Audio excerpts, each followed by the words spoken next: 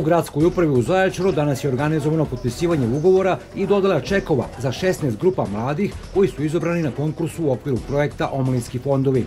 Ovaj projekat Kancelarija za mlade grada Zaječara realizovala je drugu godinu za redom u saradnji sa fondacijom Ana i Vlade Divac.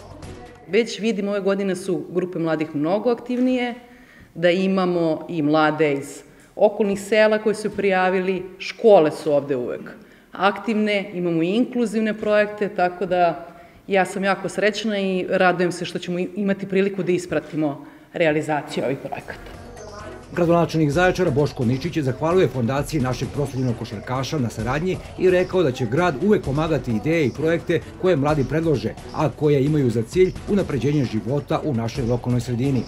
Ono što takođe želim da znate da ćete podršku kad su u pitanju mladi ljudi bez obzira kakvi ti projekti bili, da li imali ovakvu ili onakvu pozadinu, bitno je da doprinose sredini kojoj vi te projekte realizujete, imati potpunu podršku, bar dok je ovo rukovodstvo grada na čelu grada i dok Kancelarija za mlade radi ovako dobro kao što radi, potrudit ćemo se da u što skorije vreme oslobodimo prostorije, one koje su nam neki uzurpirali, nazivaju se omladinom i omladinskim aktivistima, u stvari to ne rade i da te prostorije damo vama mladima, to je našoj kancelariji, da se zaista bavi problemima mladih. Ministarka zdravlja u vladi Srbije, doktorka Danica Grujičić, juče popodne boravila i u Majdanpeku. Ona je prilikom posete opštoj bolnici najavila formiranje zdravstvenog centra u Majdanpeku. Tako će mnogo lakše biti organizovanje i specijalističkih i opštih pregleda, najavila je ministarka srpskog zdravstva. Veoma mi je drago što je u roku, što se kaže, isporučen novi mamograf za opštu bolnicu u Majdanpeku. Najava da će Dom zdravlja i opšta bolnica za koju nedelju dana ili desetak dana postati zdravstveni centar ponovo i bit će mnogo lakše organizovati posebno specijalističke službe za koje znam da su u deficitu u samom Majdanpeku. Veliki je problem nedostatka kadrova, lekara i medicinskih sestara, ali ja se nadam da ćemo sa određenim anketama koje sada sprovodimo sa studentima završnih godina e, fakulteta i sa lekarima koji nisu zaposleni naći načina da ih zainteresujemo da dođu u male sredine i da zapravo svoju karijeru makar započnu ovde, a onda možda i produže, nekome će se možda i dopasti. Ono Ono što mi je jako važno, to je ono što sam videla svojim očima, a to je e, zaista da je grad oživeo. Ja sam ovde bila pre 10 godina i bilo je tužno hodati ulicama. Ovo je sada grad koji živi. Grad Zaječar i Narodno pozorište Timočke krajine, Centra za kulturu Zoran Radmilović organizuju u subotu 9. decembra poetsko veče akademika Matije Bečkovića. Poetsko veče u sali Zaječarskog pozorišta počeće u 19 sati. Ulaznice se mogu rezervisati putem maila sekretarica.zajcar.info ili na brojeve telefona 444 656 i 444 712 radnim danima od 8 do 15 sati. Preuzimanje ulaznica, koje su inače besplatne, nakon potvrde rezervacije, obavljaće se lično na poštenici gradske uprave svakog dana od 8 do 20 sati.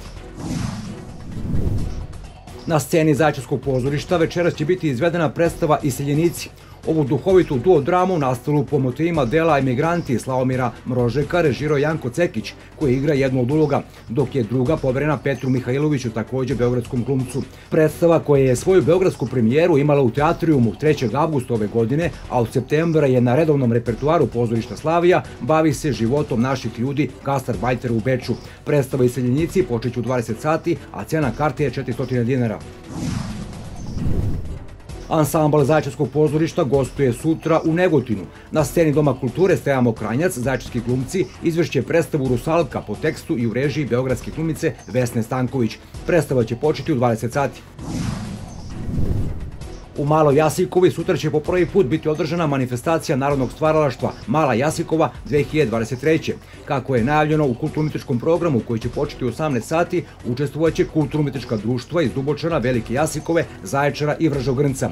Organizator manifestacije je Ustanova Narodno pozorište Timočke krajine Centra za kulturu Zoran Admilović u saradnji sa mesnom zajednicom Mala Jasikova, pokrovitelj je grad Zaječar.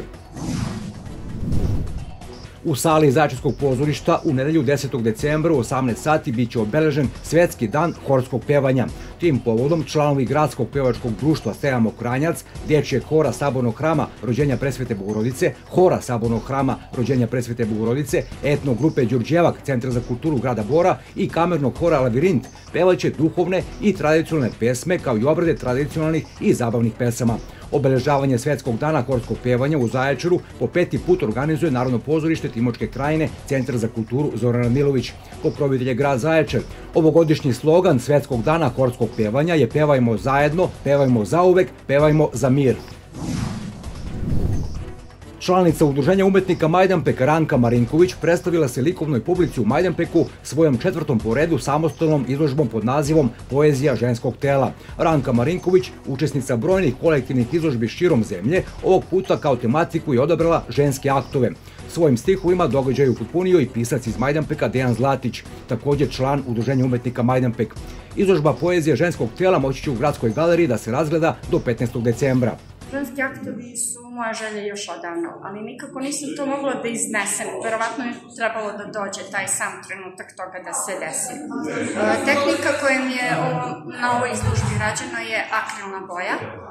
Ovaj, ženska figura je uvek inspiracija, ona je savršena onaka kakva jeste. Znači, ne treba tu ništa dodavati niti oduzeti. Znači, ona ima svoju lepotu koja je vidljiva ili imate i onu uh, lepotu koja se ne vidi kod žene, ali koja je savršena u, u tom njenom obliku i ona s time izrači i privlači jednostavno sve oko sebe.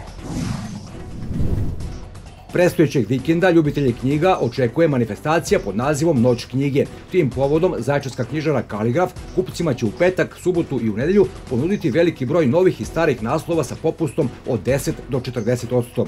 U svaku kupovinu sledi i poklon. Knjižara Kaligraf u ulici Svetozara Markovića sutra i u subotu radit će do 20 sati, a u nedelju do 17 časova. Povodom manifestacije Noć knjige, godišnji upis u Zaječarsku matičnu biblioteku Svetozar Marković sutra i u subotu biće 300 dinara. U sali Zajčarskog centra za kulturu u nasilju Kotlojevac predstojećeg vikenda ljubitelji sedme umetnosti moći će da pogledaju dva filmska hita. Od 18 sati biće prikazivan animirani film Želja, dok je od 20 sati na repertuaru najnovije ostvorenje legendarnog reditelja Ridlija Scotta, film Napoleon. Cena ulaznice 350 dinara. U Zaječaru i okolini sutra će prema prozi meteorologa vreme biti promenjivo oblačno, ali bez padavina. Minimalna temperatura posljednjeg radnog dana u ovoj sedmici minus 3, a najviša dnevna u petak 3 stepena.